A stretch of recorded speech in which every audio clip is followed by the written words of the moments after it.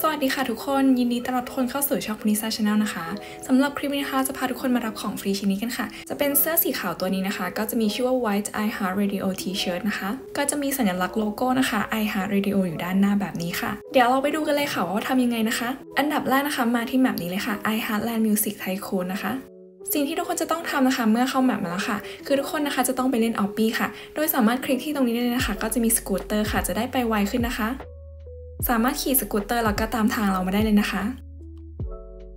ตรงข้างหน้านี้นะคะ ก็จะมี obby ตรงนี้เลยค่ะ ให้ทุกคนกดสกูตเตอร์อีกรอบนะคะ ก็จะเป็นการยกเลิกการขี่สกูตเตอร์ค่ะ การเล่นเกม obby ในนี้นะคะ ก็ไม่ได้ยากมากนะคะ เวลาเราตกนะคะ ทุกคนไม่ต้องห่วงนะคะ เพราะว่าเกมนะคะ ก็จะ save จุดเรานะคะ ไว้ที่ใกล้เคียงกับที่เราตกนะคะ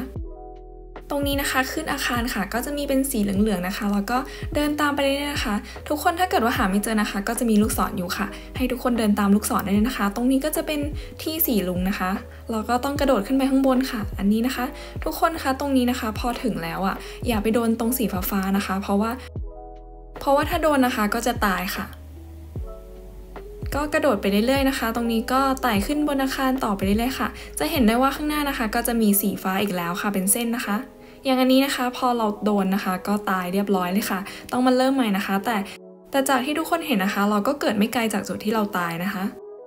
นี่ค่ะก็กระโดดไปเรื่อยๆนะคะ ตรงนี้นะคะก็จะเป็นแผ่นโปร่งแสงค่ะ ให้ทุกคนมองดีๆนะคะ ระวังตกนะคะ กระโดดขึ้นไปเรื่อยๆเลยค่ะ ไม่ต้องกลัวนะคะ ถ้าเกิดว่าตกก็แค่เริ่มใหม่ แต่ว่าไม่ได้เริ่มใหม่ตั้งแต่ต้นนะคะ ตรงนี้ก็จะเป็นแบบบันไดขึ้นไปนะคะ เป็นสีลุ้งเลยค่ะ ไล่ตามสีไปเลยนะคะ สวยงามดีค่ะ ก็ตอนนี้นะคะก็ใกล้จะถึงข้างบนสูงสุดแล้วนะคะ เดินไปเรื่อยๆค่ะ ก็แอบหวาดเสียวนิดนึงนะคะ เพราะว่ามันสูงมากอู้เราตกนะคะอันนี้ ก็